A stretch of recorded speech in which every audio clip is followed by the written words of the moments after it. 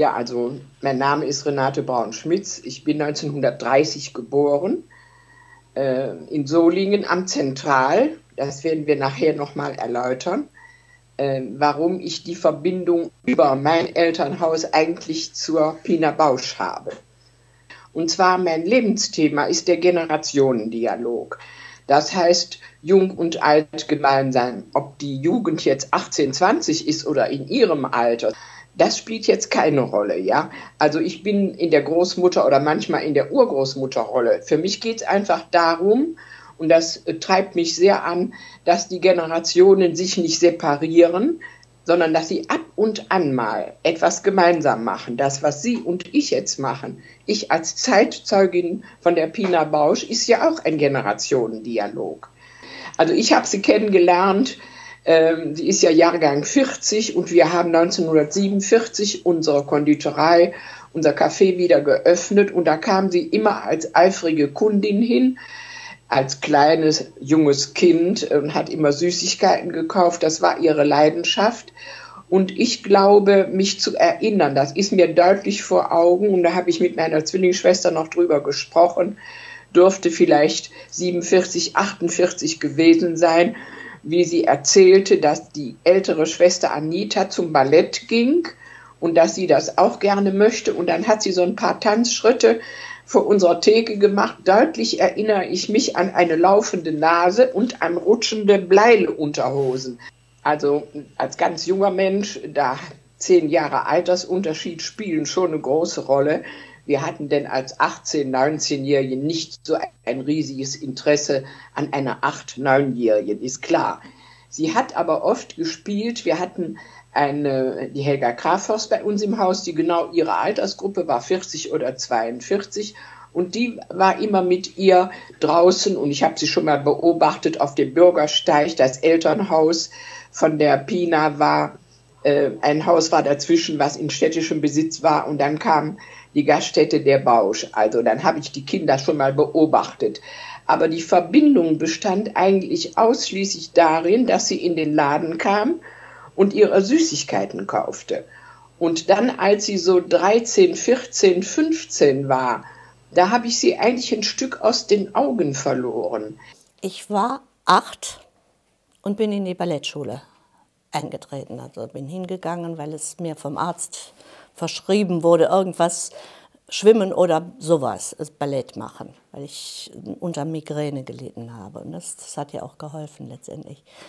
Ja, und dann habe ich unter anderem eben auch diese Pina kennengelernt, die ein Jahr älter war, ein gutes Jahr älter war als ich.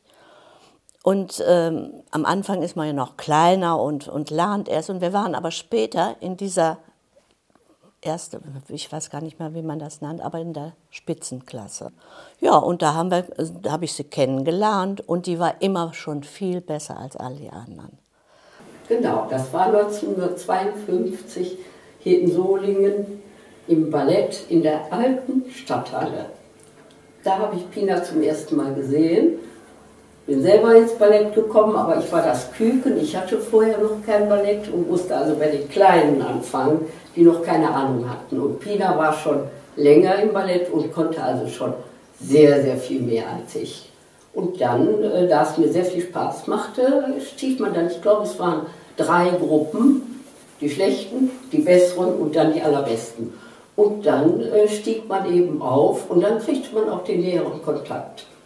Und das kam dann bei mir automatisch, weil wir den Weg gemeinsam gehen konnten. Also Pina wohnte am Zentral, ich wohnte zu der Zeit noch auf der Scheiterstraße und die Scheiterstraße ist ja äh, Richtung Wasserturm und dann sind wir dann zusammengegangen bis zur Ecke Scheiterstraße.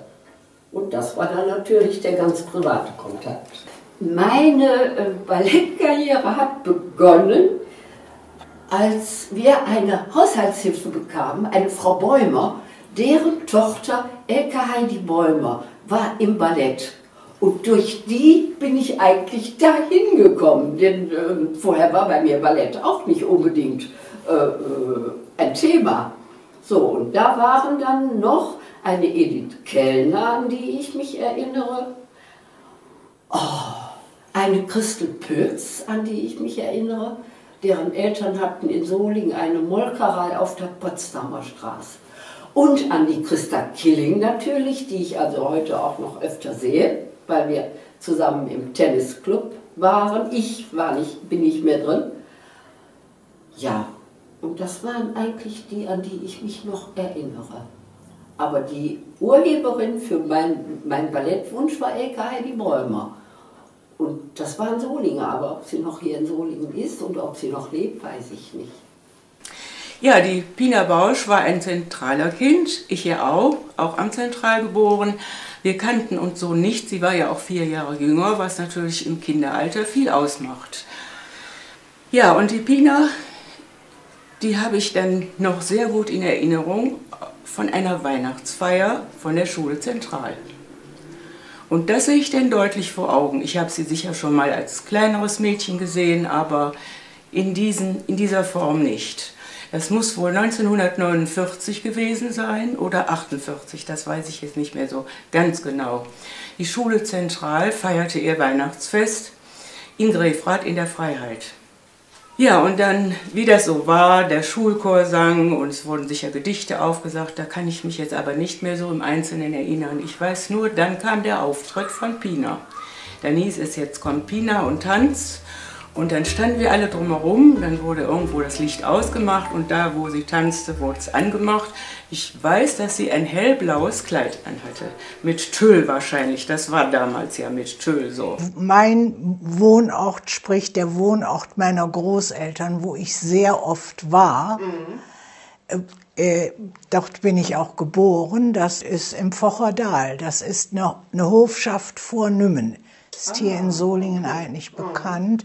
Und das war damals für uns Kinder sehr schön, weil da, ja, da fuhren keine Autos und äh, da fuhr noch, das ist, wo die Trasse ist, die von Wald nach Grefrath geht. Ja. Da spielten wir dann, und da war so ein kleiner Bahndamm und da haben wir dann im Sommer getollt und äh, ja, ich konnte gerade gerade einen Handstand, aber Pina war dann schon ständig mit Spagat ah, und okay.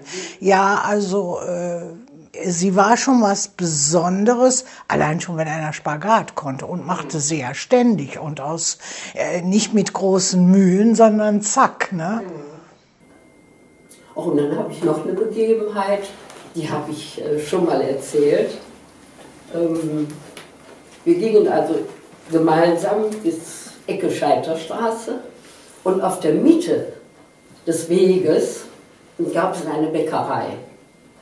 So, und Bina hatte immer Geld in der Tasche. Und dann wurde an der Bäckereistation gemacht und sie ging rein, holte zwei Apfeltaschen, eine für sich und eine für mich. Und so bekam ich eine Apfeltasche. Das ist eine schöne Erinnerung. Da kostete die Apfeltasche noch 10 Pfennig. Hm. Zehn Pfennig. Wahnsinn. Die war auch sehr freundlich immer, immer freundlich. Ne? Und auch als sie, die war ja eigentlich die größte, als wir dann in den Bussen waren, dann war sie ja auch mit, äh, wenn wir zusammenfahren, die war nicht, wir waren ja auch nicht immer alle dabei, konnten nicht immer. Aber sie war dann schon, die hat äh, mit uns zusammen. Aber was ich mich auch erinnern kann, wir mussten uns zum Beispiel hier im Theater umziehen mit den Großen, also mit den Ball Ballerinen da. Und das fanden wir ja toll. Ne? Da wurden wir ja auch so ein bisschen geschminkt. Und da, da gehörte die eigentlich dazu. Und wir waren einfach nur kleine Kinder, die damit rumliefen. Das war einfach eine, eine andere Liga. Ne? Vielleicht hat, hat sie es selber gar nicht so erlebt, aber wir haben mit offenem Mund zugeguckt. Die kriegte was gezeigt und machte es nach. Und wir mussten drei, vier, fünf Mal üben. Ne? Es war einfach unglaublich, fand ich. Ich kann mich an eine äh, Sache erinnern. Wir mussten mal so quer durch das äh, Ballettraum. Äh, jeder sollte so ein, die, immer die gleiche Musik. Und wir sollten dann so eine kleine, irgendwie einen kleinen Tanz aufführen, aus der Erinnerung. Da legte die da ein Ding mit Pioretten und so weiter hin. Und ich stand wie da und habe eben nur mal gesprungen und so. Das war einfach, man war hin und weg von dem, was die uns zeigt. Und da waren sicherlich welche auch besser noch als ich, äh, die dann auch einigermaßen, aber sie schwebte über all dem da. Sie war wirklich da. Viel, viel anders besser.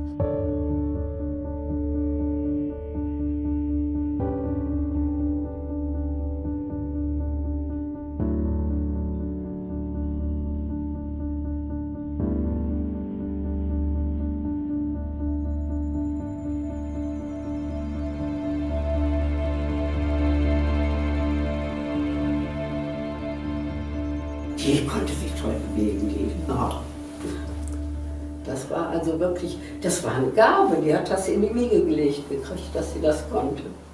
Die war unauffällig, ne? Die erzählte auch nicht viel. Aber hatten wir auch gar keine Zeit. Wir kamen, haben uns umgezogen und dann ging es an der Stange und wie das so ist. Ne? Aber so privat, da sind wir gar nicht zugekommen, nein.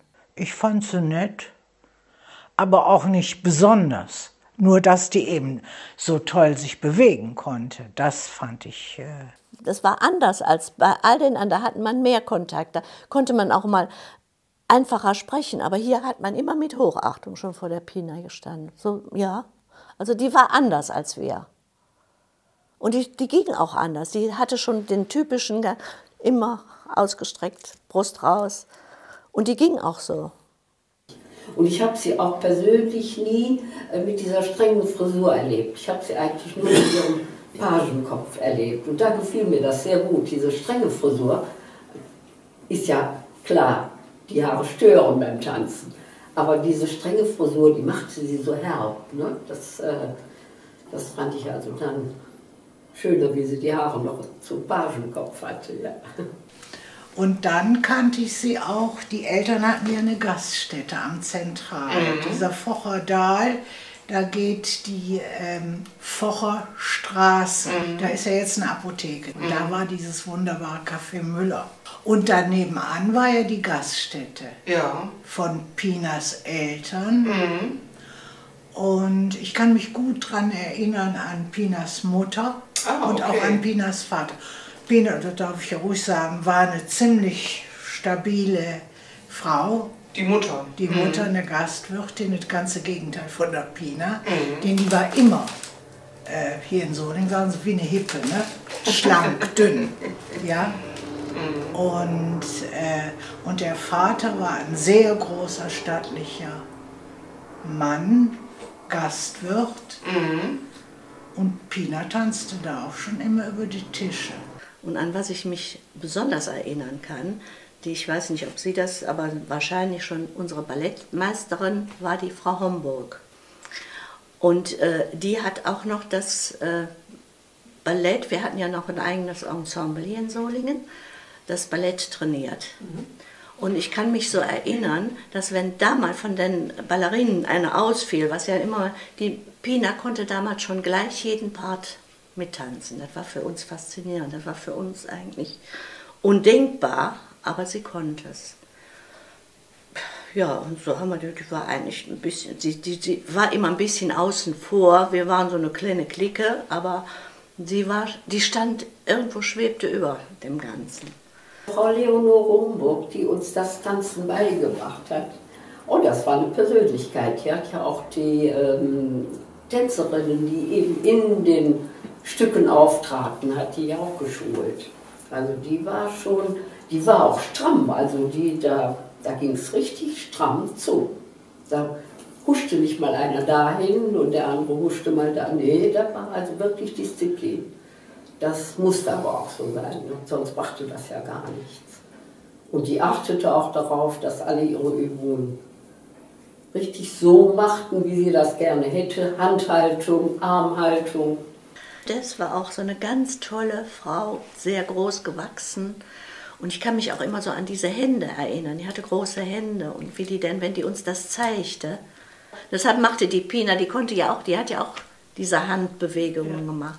Das spiegelte sich schon ein bisschen. Da hat sie mit Sicherheit sehr viel von gelernt und abgeguckt, wie man das, ja, im Grunde ist es ja. ein- Und das ist mir, ja, ist mir in Erinnerung geblieben, ja. Mein Ballettröckchen und Oberteil hat meine Mutter genäht. Also das war nichts äh, äh, Bestelltes. Das, ähm und dann passierte eben bei mir das große Pech. Ich bin aus diesen Sachen rausgewachsen. Und dann hieß es so, du kriegst keine neuen, du musst aufhören. War nichts mehr mit neuem Ballettröckchen und Oberteil. Das war vorbei. gab es nicht. Hm? Leider. Wir mussten so ganz runter in den Keller und es war so ein Waschkeller oder irgendwie so, war ganz primitiv.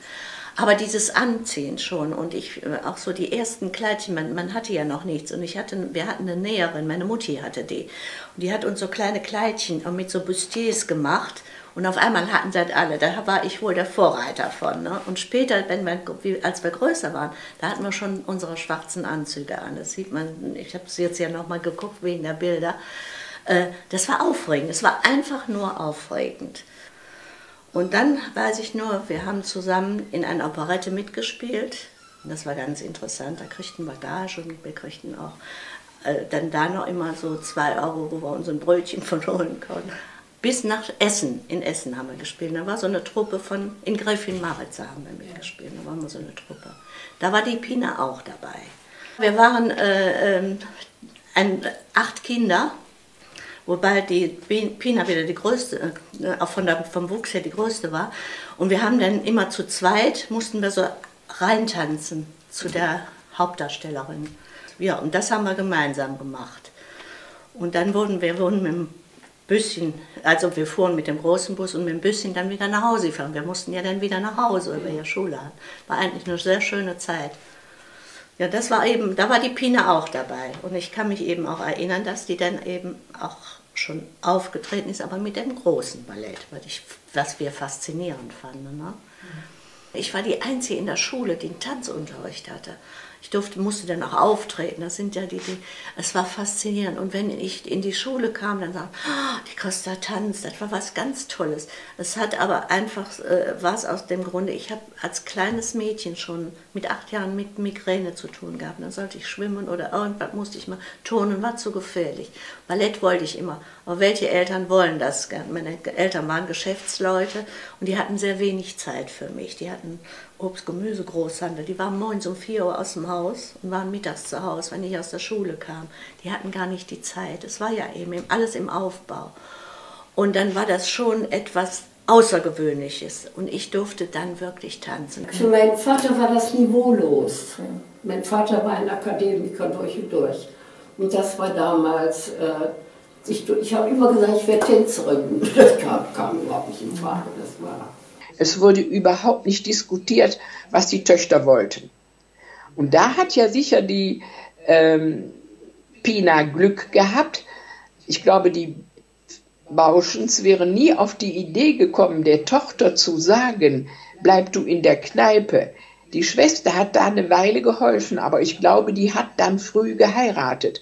Ob die einen Beruf erlernt hat, also in unserem Alter, weiß ich nicht. Aber da hat man vieles mit bei Frauen verhindert an Entwicklungen.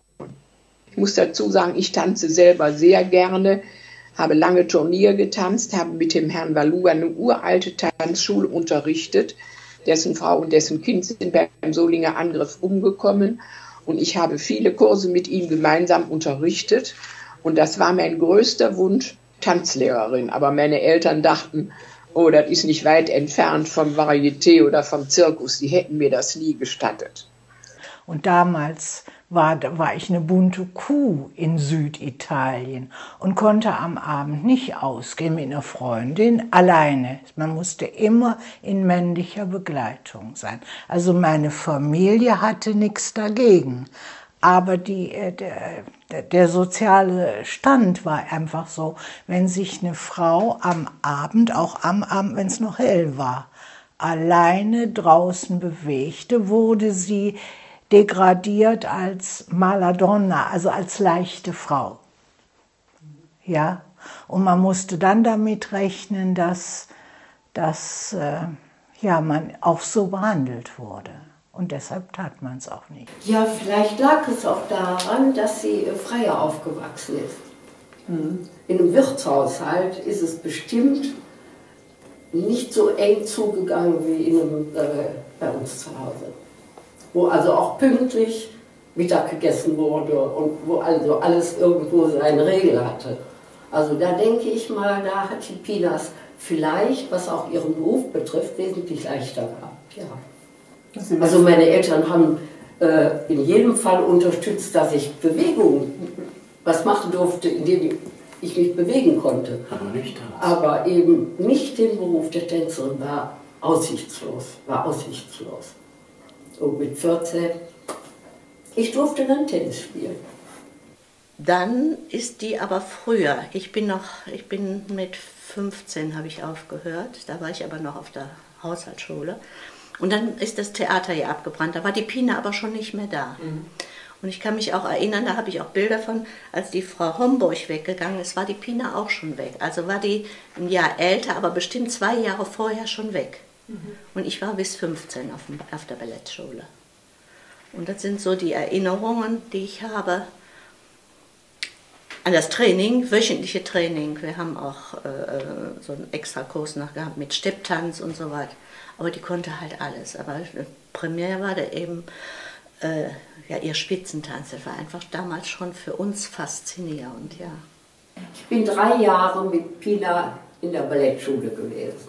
Und dann habe ich aufgehört und Pina ist, glaube ich, dann äh, in die Volkmangsschule gegangen und hat dann äh, den, den Weg der Tänzerin genommen. Mein Bruder war in der Kaufhalle in Solingen, äh, die kennen Sie wahrscheinlich nicht mehr, wo Solingen so zerstört war. Und da hatten die in der Kaufhalle hatten die einen ähm, Tischtennisclub, sag ich jetzt mal, mit Frauen, waren ja mehrere Frauen da und äh, er mit seinem Meister auch und die spielten da Tischtennis. Und dann wurde Solingen ja wieder neu aufgebaut und die alte Kaufhalle wurde abgerissen. Und dann ähm, sind die auf, äh, wo jetzt oder wo früher die Deutsche Bank war da oben. Und ähm, da hatten die aber keinen Platz für Tischtennis. Und da ich ja den Bausch, den Onkel August kannte, da bin ich dann zu ihm hingegangen zum Zentral und habe ihn gefragt, ob wir die Möglichkeiten hätten, bei ihm Tischtennis zu spielen. Ja, hat er gesagt, das können Sie machen. Und ähm, ich sag, äh, was er dafür kriegt, dann hat er gesagt, er nimmt da nichts für, sondern wir müssten Umsatz machen. Das heißt also, wir waren ja noch jung, also Alkohol gab es sowieso nicht zum Spielen, konnten keinen Alkohol gebrauchen. Das heißt also, wir mussten da was umsetzen. Angrenzend hatten die einen, äh, äh, wenn ich mich gut daran erinnere, dann hatten die eine Kegelbahn da. Und die Kegelbahn hatte, der Vorderraum, der war ziemlich groß. Und da konnten wir mit den Tischtennisplatten, die haben wir dann von Solingen dahin geholt, äh, konnten wir Tischtennis spielen. Jetzt wollten wir natürlich was zu trinken haben und siehe da, da kam die Tina. Die Tina hat die Bestellungen aufgenommen und da habe ich am Anfang gedacht, wer ist denn das? Kannte ich ja so nicht. Ich wusste ja, dass die Kinder hatten, die Baus. Die, die Tante und den Onkel, den kannte ich ja. Und äh, dann hat die Tina, die hat die Bestellung aufgenommen und hat uns sie dann auch später gebracht. Sie war sehr schüchtern, sehr schüchtern. Also die hat die Sachen denn dahingestellt, da konnte sich jeder nehmen, was er wollte und sie ist dann so schnell wie möglich wieder raus, ja. Und äh, aber wie gesagt, die äh, Zusammenkunft da, die war so kurz und äh, dann und vor allen Dingen, gut, das ist schon fast 65 Jahre her, ja. Also ich habe äh, sehr früh eigentlich angefangen zu tanzen, weil ähm, ich einen Freund hatte, dessen Schwester arbeitete in einer Tanzschule und äh, die hatten gerade so eine Kindertanzgruppe eröffnet und da, da habe ich dann mitgemacht, da war ich zwölf. Und, äh, ähm, und da habe ich dann Gesellschaftstanz gemacht, bis die, äh, die mussten irgendwann schließen und dann äh, aber die Schwester gesagt, eine Ballettschule und dann bin ich da auch mit hin, aber dann ist sie da weggegangen, habe ich da auch aufgehört und, und dann habe ich eigentlich erst wieder so im normalen Alter, wo man in die Tanzschule geht, wieder angefangen. Und das habe ich dann weitergemacht bis zum Abitur. Im, sind inzwischen umgezogen im Tanzkreis, Tanzkreis Blau-Silber in Hamburg. Weil ähm, mein Vater war zwar ein sehr musikalischer Mensch und äh, spielte mehr Instrument. Aber ich bin halt so aufgewachsen, viele andere auch, dass also Musik, Tanz und sowas, also das ist ein Hobby, aber es ist kein Beruf. Ich bin in Solingen geboren, mit einem Jahr sind wir nach Oberursel gezogen, von Frankfurt. Von Oberursel ging es nach Siegen, Von Siegen ging es nach Butzbach und zum Studieren dann nach Hamburg. Mit 21 habe ich gedacht, ach, ich sitze immer nur so rum, ich muss mal wieder was machen. Und dann habe ich wieder angefangen, also so Unterricht zu nehmen, ein bisschen Jazz-Tanz und dann war ich da an der Nuller Orgelschule in Hamburg und dann, ja, dann wurde das mehr und mehr und dann, ähm, ja, dann bin ich da in die Tanzpädagogenausbildung gegangen und habe dann gleichzeitig parallel studiert und die Tanzausbildung gemacht, Tanzpädagogenausbildung gemacht. Ein Semester lang, aber das war mir klar, dass das wird nichts, also das eine wird nichts, das andere wird nichts. Und, äh, und es war ja damals ähm, noch so, dass man also äh, mit 21 noch dazu, also konnte man nicht mit Tanzen anfangen. Also, dachte man. Und dann hörte ich, dass man in, bei Volkwang, sagte mir eine, äh, ein Mädchen, die auch bei Bernhard Hogge war, ähm, die nehmen auch alte Männer, das kannst du mal versuchen. Und ähm, und dann habe ich mich da gemeldet, habe die Aufnahmeprüfung gemacht und wurde genommen. Und da probierst es mal. Ich bin immatrikuliert geblieben in Hamburg und, äh, und ein Jahr später kam die Anfrage von Frau Bausch, ob ich nicht bei dem Sacre du Printemps mitmachen wollte. Und dann war die Entscheidung getroffen. Also sie hatte uns im Laden gesagt, dass sie ein Stipendium bekommen hätte da war sie, glaube ich, schon auf der Volkwang-Schule angenommen wor worden. Ich weiß jetzt gar nicht als Schülerin, Studentin, wie man das nennen sollte.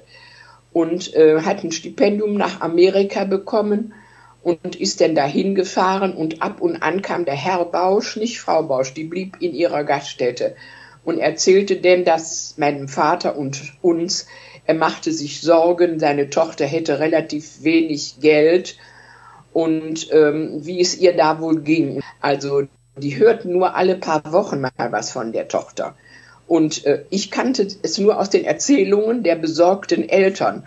Und dann, als sie wiederkam äh, aus Amerika, da kam sie in den Laden und ich habe sie nicht wiedererkannt. Die war zu einem Gerippe abgemagert und äh, ihr Vater sagte meinem Vater mal, als er auch für die Tochter Kuchen kaufte, er hätte sie ganz besorgt zu einem Arzt gebracht, weil die so ein enormes Untergewicht hatte.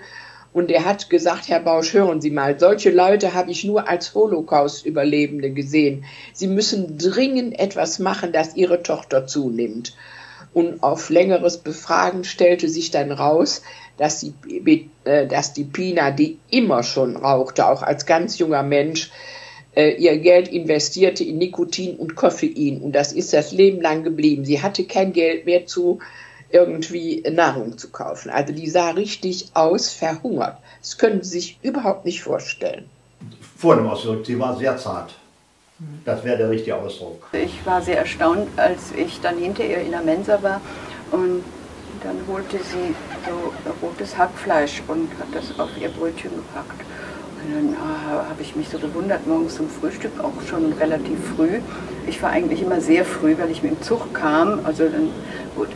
Und ähm, dann habe ich mich sehr gewundert, dass so eine zarte, zierliche Frau da so einen Haufen, ähm, hier sagt man Tata, ich weiß nicht, in Luxemburg heißt das anders. Also es war so Rindfleisch, rotes Rindfleisch mit und das hat sie dann, ja, äh, gegessen mit ihrem Brötchen und ihrem Kaffee. Und ähm, das ist eigentlich so dieser Kontrast, bei ihr fand ich immer eigentlich alles sehr kontrastreich. Sie ist ab und an mal mit ihrem Mentor, dem damaligen Leiter der Volkswagenschule, Kaffee gekommen und hat sie noch da sitzen, Kakao trinken und Kuchen essen und äh, der Kurtios und sie haben sich ganz interessiert unterhalten. Also der war sicher 30, 35 Jahre älter als sie. Sie hatten aber ein ganz vertrauensvolles Verhältnis und ich denke, der hat sie enorm äh, gestützt und äh, gefördert. Ähm, da gab es noch die alte Mensa hier und äh, ich hatte schon meine erste Vorstellung gesehen in Wuppertal. Das war der erste Abend der zweiten Spielzeit. Das war dieser gemischte Abend mit Großstadt von Joos, äh, Ich bringe dich um die Ecke und Maler. Und äh, fand das ganz okay. Studenten sind ja ziemlich arrogant, was das anbelangt. Und also, äh, habe es nicht verstanden, warum Tänzer singen müssen, wenn sie nicht singen können. Also, äh, aber ich fand es, also Maler fand ich ganz schön, fand ich mir gefallen. Und äh, ich weiß, dass ich in der Mensa saß mit dem Leiter der Abteilung, Hans Züllig, und ähm, da kamen drei Herrschaften rein und äh, ähm, das waren Pina Bausch, Rolf Borczyk und Jan Minarek.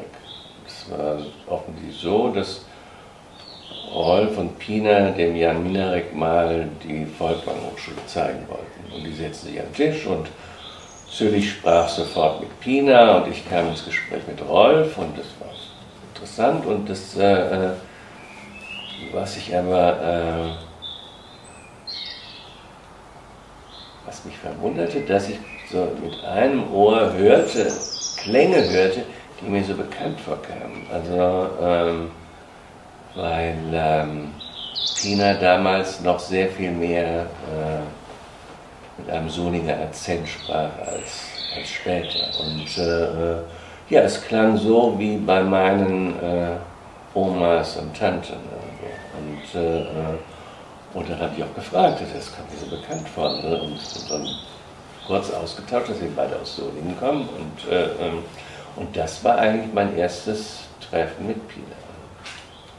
Ich fand es immer schön, weil meine, äh, mein Onkel meine Großtante kam, dann einmal eine Woche zu mir, um meine Wohnung ein bisschen auf Vordermann zu bringen. Und, äh, ähm, und Pina freute sich immer sehr, sie zu sehen, weil meine Großtante also ziemlich deutliches Solinger Platt sprach und, äh, und sich immer freute, wenn meine Tante irgendwelche Worte verwendete, die man also äh, nur in Solingen kennt. Und, und oh, das habe ich stundenlang nicht mehr gehört. Außerdem muss ich sagen, sie kam immer mit was und äh, ähm, Hat ja gerne mal überzogen und so. Und, und, äh, aber wenn ich sagte, ich muss jetzt gehen, Tante Erna kommt gleich, kein Problem, wenn Tante Erna kam, dann. Der Vater, das Verhältnis Vater und Tochter schien mir äh, sehr eng zu sein, denn der Vater hat, das war ja der Besorgte, der uns das auch erzählte und der sich bemühte, als die Tochter aus Amerika kam. Aber ich glaube, das, was wir heute oder Sie vielleicht als Mutter unter Erziehung verstehen, das war da aus Zeitmangel gar nicht möglich. Und das, was Sie eben sagten, man hat sie in Ruhe gelassen. Sie hat oft gehört, was Menschen sagten und was sie so taten.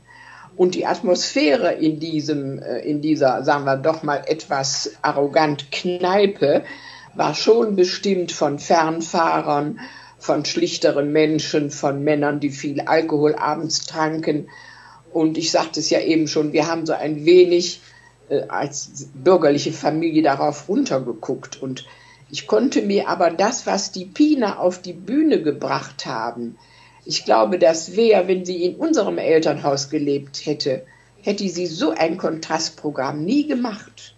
Das ist für mich ein Stück der Erklärung für ihren Einfallsreichtum und ihre Kreativität und ihr Anderssein.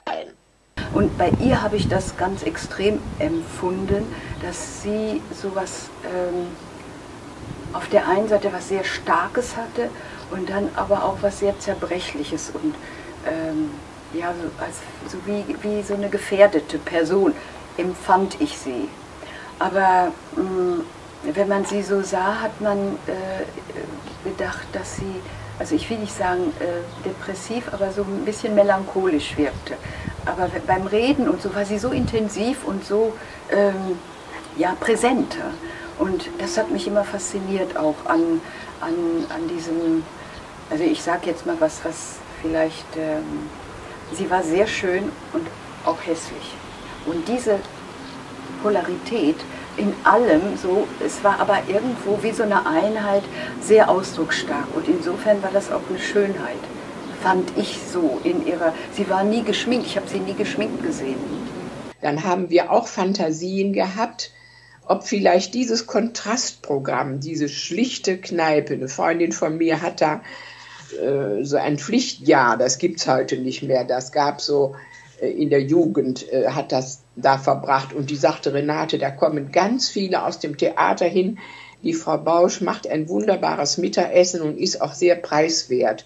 Und wir haben uns gedacht, die Verbindung zum Theater von Anita und Pina hat da in der Kneipe der Eltern angefangen. Und sie hat immer mit großen Augen gesessen und die Menschen beobachtet. Und das fiel mir auch auf, wenn sie zu uns ins Café kam. Gesprochen hat fast nur ihr Mentor, der Herr Joos. Sie hat immer zugehört, sehr aufmerksam. Und einmal hat sie auf ihn lange gewartet, da hat sie da gesessen und hat bei uns die Menschen, die zu uns kamen, auch beobachtet. Das war eine große Gabe von ihr.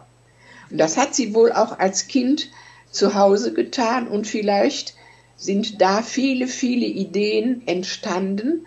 Denn ich habe sie ja gefragt mit dem Café Müller. Ja, da habe ich meine Jugenderlebnisse auch mit eurem Café verarbeitet.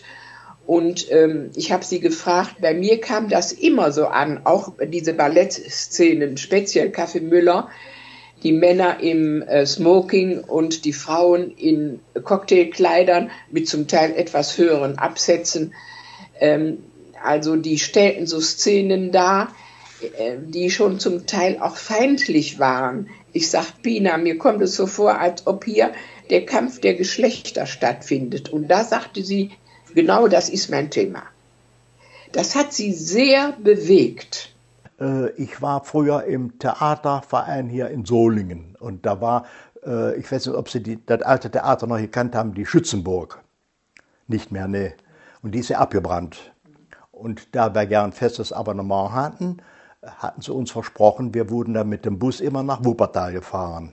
So, und äh, dann ähm, hieß es dann später, wenn in Solingen wieder aufgebaut wird, dann sind wir die Ersten, die beim bei der Eröffnung dabei sind. Aber das war nicht der Fall. Da war die, die Prominenz, sage ich jetzt mal ganz vorsichtig, die, die war da, aber die, die die Treue gehalten haben, all die Jahre, das hat ja lange gedauert, bis das Solinger Theater wieder aufgebaut wurde, ja. Und da ähm, kam irgendwann, ich weiß ich nicht, in welchem Jahr das war, dann hat die Tina Bausch, hat, äh, ähm, hat Kaffee Müller getanzt. Und das Kaffee Müller, das kann an für sich bloß jemand verstehen in Bewegungen und allem drum und dran, der auch das Kaffee gekannt hat. Denn äh, ich habe so viele Fremde gehört, die das Kaffee Müller äh, tanzend gesehen haben. Da haben die gesagt, was ist denn das? was bringen die denn da? Ja. Und, äh, aber wie gesagt, also wenn Sie Kaffee Müller kennen, dann, oder wenn man das Kaffee Müller kannte, dann wusste man, was die Tina da darstellen wollte mit diesem Kaffee her. Und ähm, äh, das Café Müller, das war früher, ich sag mal, äh, äh, das erste äh, Lokal am Platze da, ja. Da kam die ganze Prominenz hier von der Umgebung hin und haben dann da Kaffee getrunken. Und da wurde ja nicht nur Kaffee getrunken, sondern da waren alles mögliche Gesellschaften, die da stattgefunden haben und so, ja. Und äh, da waren zur damaligen Zeit, wenn ich das so sagen darf, schon die Autos, die heute äh, so äh, bei gehobenem Gehalt zu sehen waren, die waren damals auch schon da zu sehen. Also war schon etwas da, Kaffee Müller. Besonders erinnere ich mich an Nelken, weil unser äh, Geschäfts, also damals waren wir noch kein, war es noch kein GmbH, aber ähm, der für die Öffentlichkeitsarbeit zuständig war, äh, der hatte äh, was mit der Bildzeitung gemacht und gab es einen Artikel Lutz tanzt für Oma und Oma Millie und Tante Erna. Kam jemand von der Bildzeitung, machte Foto und, und äh, so.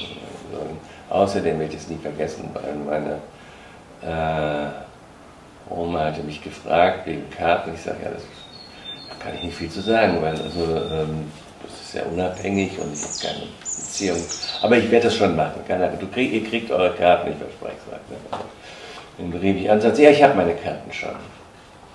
Ich sage, muss doch keine Karten kaufen. Ich nicht, wieso? Ich, ich habe da angerufen und äh, habe gesagt, ich hätte gern zwei Karten und dann sagte, die kostet. Ich sagte, wieso? Ich muss doch nicht zahlen, wenn mein Enkel tanzt. Also ähm, außerdem hätte ich gern gute Karten und, äh, und sie hat tatsächlich organisiert, ohne zu bezahlen. Sie hatte genau die beiden Mittelplätze in der ersten Reihe für sich und ihre Schwester. Und in diesem Stück kommt es ja vor, dass ich ins Publikum gehe und umarme, dann musste ich dann meine Oma umarmt und meine Tante umarmt. Um Ende 1940 und Anfang 50 tauchte eine Tänzerin in Solingen auf, mal für einen Ballettabend. Ich meine mich zu erinnern, dass sie Höpfner hieß. Eine Ausdruckstänzerin, die damals schon nicht mehr jung war, sicher Mitte 30. Und da bin ich hingegangen. So etwas Eigenartiges, aber für mich ganz Faszinierendes.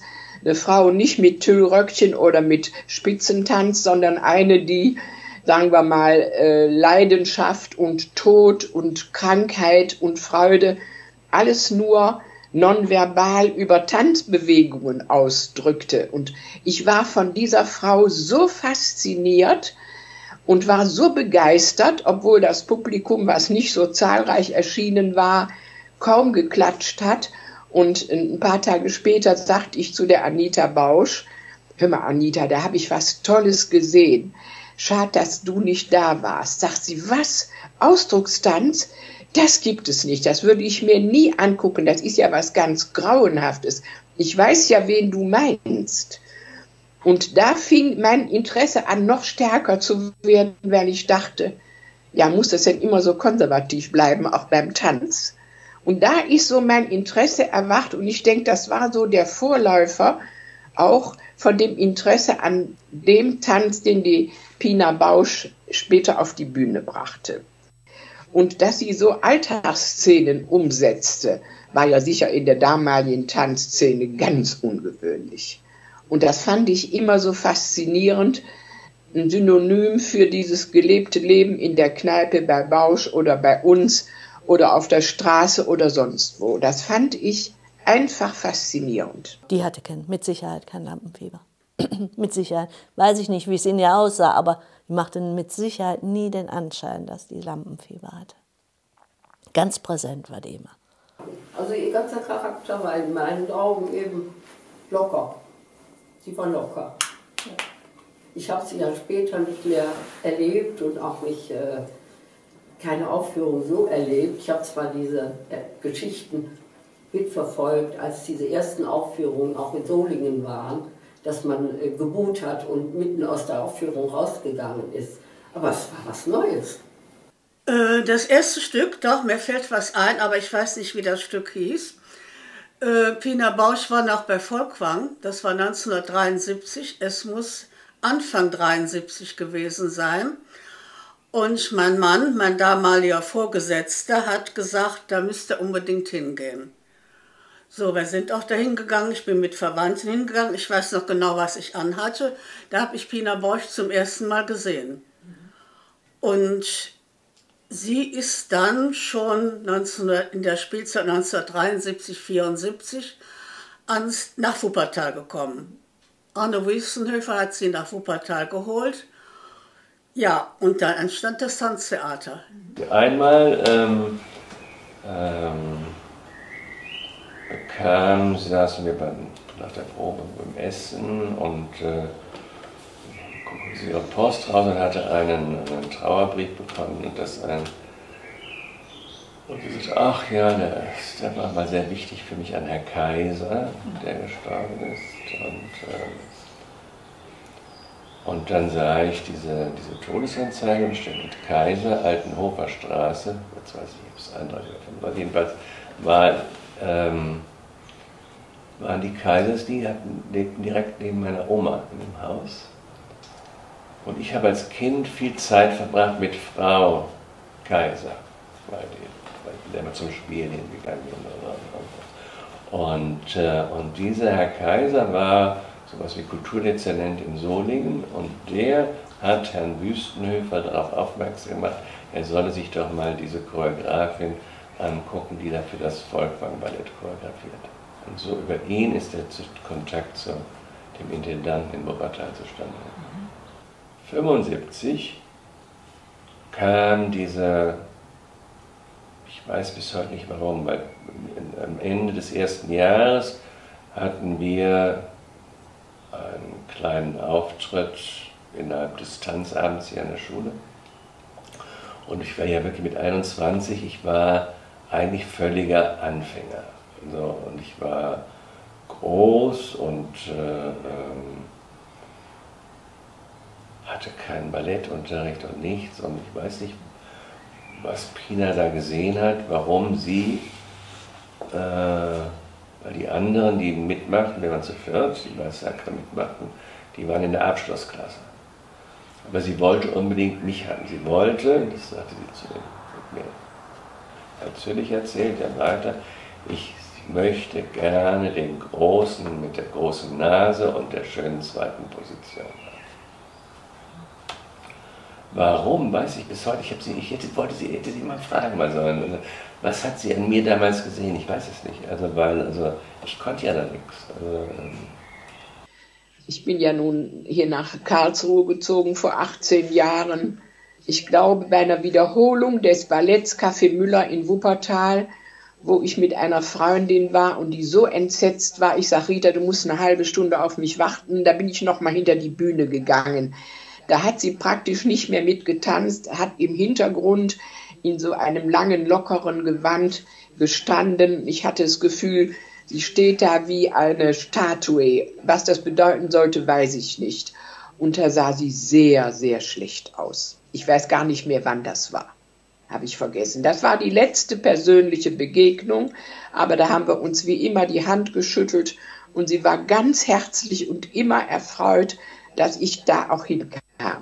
Immer dieselben Stücke und da und das ist also, ja, und weil wir ein bisschen sprachen und sie immer weiter drängen, ich sagte, ich würde lieber ein neues Stück mit ihr machen, als die alten Stücke spielen. Und dann sagt sie, ja, meinst du das ernst? Ich glaube schon. Und zwei Wochen später rief sie mich an, wie sieht es denn aus, wann kommst du denn jetzt? Also, äh, ich sage, ja, aber ich meinte, ich meinte nicht die jetzt. Ja, wieso denn? Also ich sage, ihr seid doch schon lange dran. Nee, ich habe noch gar nichts. Und dann war das zufällig auch Ende Februar. Im März haben wir ja hier Semesterferien. Und dann bei dem Stück. Und dann, dann, dann, dann sagt sie, ach, jetzt wo wir dabei sind, weil ich will Bandonion gern wieder aufnehmen und könntest du nicht die Rolle von Jan machen und, und, und äh, ja, und dann neu anfangen. Ich habe versucht, in ihrem Sinne das so gut wie möglich zu machen und musste natürlich auch zwischendurch Entscheidungen treffen, weil sie nicht erreichbar oder sonst irgendwas war. Die letzte Aufführung von, von ihr war, auf dem Berge habe ich ein Geschrei gehört. Ja. Die Vorstellung wurde leider abgebrochen.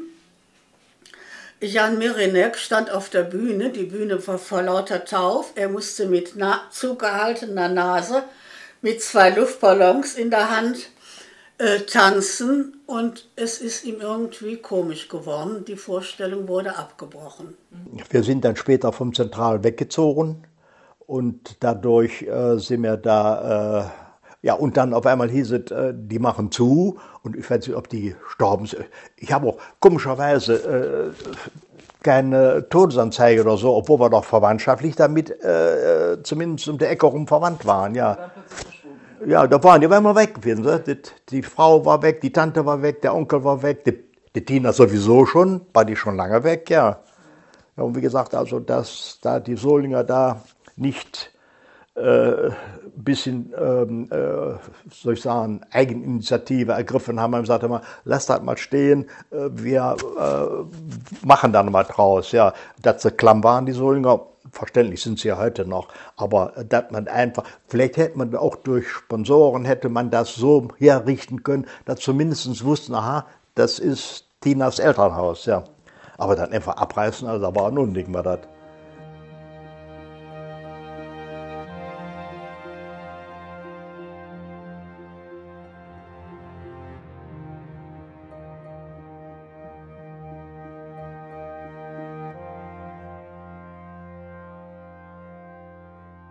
Die Spannungen dann zwischen der Familie und der Pina, die wurden im, beim Älterwerden relativ groß, wo die Bauschen, ich glaube, ins Hessische sind sie gezogen, ich weiß es nicht mehr.